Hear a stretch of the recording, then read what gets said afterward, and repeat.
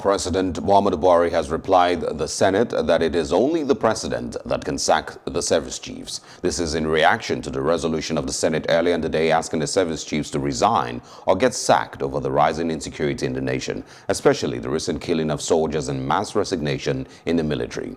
But the president, in a uh, statement titled Service Chiefs Position of Presidency on Resolution by the Senate, said President Muhammad Buhari reserves the right to appoint or sack service chiefs. The statement on the verified Twitter handle of the presidency reads, and joining us online uh, this morning is the former Assistant Director of Department of State Security, Dennis Amachree. Thank you very much for joining us. Good morning. You're welcome. The Senate overwhelmingly resolved that the service chiefs should resign. What is your take on this? I think this is overdue because uh, if you remember very well, uh, just some weeks back, the president had a meeting with um, the service and he told them that enough is enough. And um, they are not going to uh, any no more excuses again. Uh, no more excuses. Then uh, we continue losing our people. Uh, we continue uh, losing uh, um, so soldiers are uh, deserting or who are resigning. Um, so I, I, think it's high time that the service chiefs go ahead and do the needful by resigning. If they if they don't resign, I think the head of ask them uh, to retire immediately. Why, why, do you think the call was directed to the service chiefs and not to the president uh, to sack them from service? Well, uh, like the presidency said, uh, it is his uh, prerogative, uh, it's a prerogative president to keep them or to sack them. But um, we cannot continue do the same thing the same old way if you listen to what uh, the Senate was saying, um, they had this uh, uh, ambush, ambushes that are going on.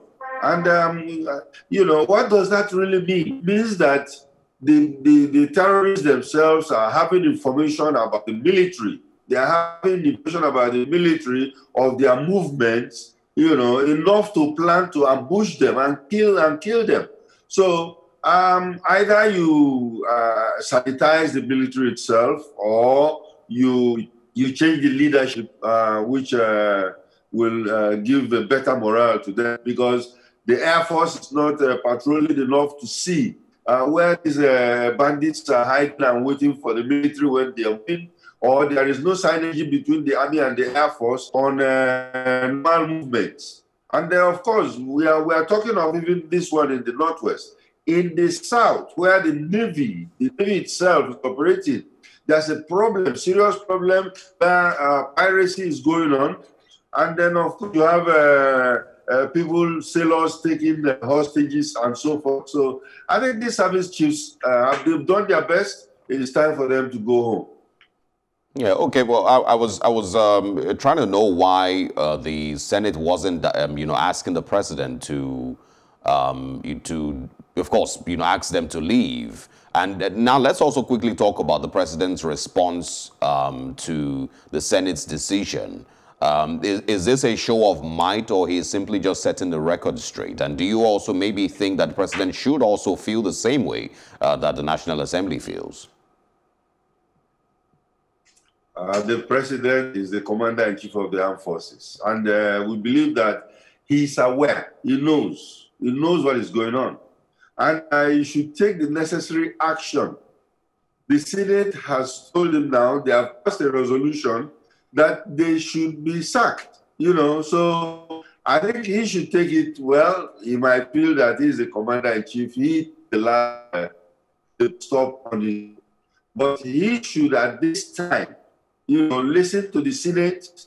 I think there is a very good energy between the uh, National Assembly and the presidency. I uh, see that everybody's been asking for it, and uh, should, should listen to them and do uh, it. And, and, and what, what, would you, what would it mean if the president decides to ignore um, the call you know, from the Senate at this time? I think the president uh, be more uh, responsive. Uh, he has ignored the call is not starting now. The call has been going on for a very long time. And uh, he has not those calls. We agree it is priority, but Senate has come out, Mr. President, is the situation we cannot uh, get. And of course, he has also said the last that enough no more. All they need is being given to them. It depends whether they're using it properly or not, but you know, enough enough. And um, I think the president should act on it now. Well, I was trying to establish um, what you feel um, Nigerians, you know, should have or should make, you know, out of, you know, the, the conversation between the Senate and the presidency and, of course, the service chiefs. If the uh, presidency decides to ignore the Senate at a time like this, um, what would that mean to Nigerians? Well, you know, this particular call by the Senate, and then, of course, if I remember, even by the House, is a call by Nigerians because those are the representatives of Nigeria. And uh, they've said that these service chiefs should at least go and uh, retire. So I don't really expect the president to uh, to ignore it. But if he does, uh, maybe there might be other ways of uh, trying to convince him. But uh, I believe he will. You, you, you believe that he will take action just like the Senate has uh, directed? Yes, I believe so strongly. Okay, and I was also asking, um, do you think that new service chiefs might be the answer that we, we seek with regards to security in Nigeria today? You mean changing the service chief? Yes. Uh, well, the military, the military itself has had problems. If you remember, they said that uh, the weapons that are being used by the bandits is more superior to what our people are using. Uh, that means there is need for some kind of uh, equipment uh, rejigging. Uh, we need to use and uh, deploy technology, which I don't think we are using to the fullest capacity. Because fighting terrorism these days is not just man on man or boot to boot. It has to be by technology, heavy deployment of technology to know their locations and all kinds of surveillance uh, um, uh, uh, uh, equipment surveillance that they need to use. So, so it is very, very important to rejig the military, give them the right equipment, and then bring in those fresh ideas from the younger officers who have been waiting in the wings. Yep.